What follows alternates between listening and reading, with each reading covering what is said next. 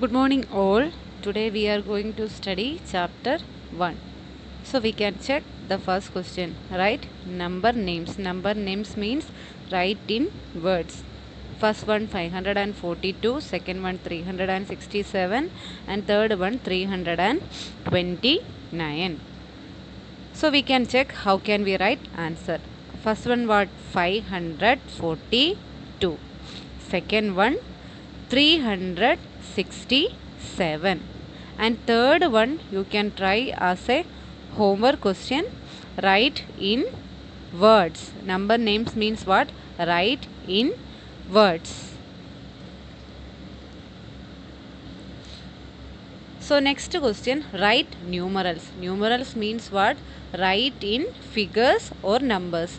First one 506 second one 720 third one 891 so we can check the answer. How can you write 506 506 second one 720 third one you can try as a homework question.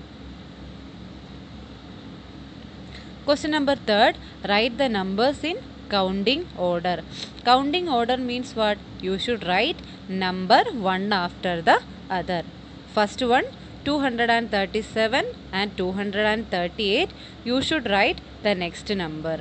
Like that 443 444 577 578 etc so we can check the answer.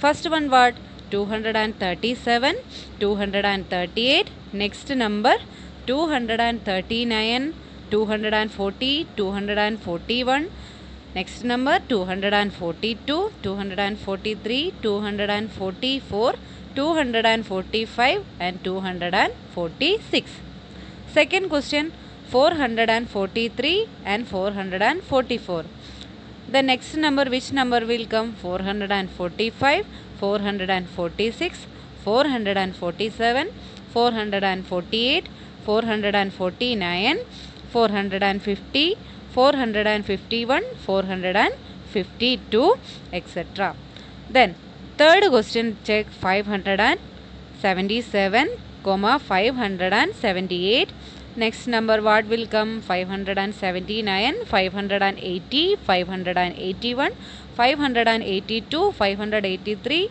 584 585 586 next question you can do as a homework question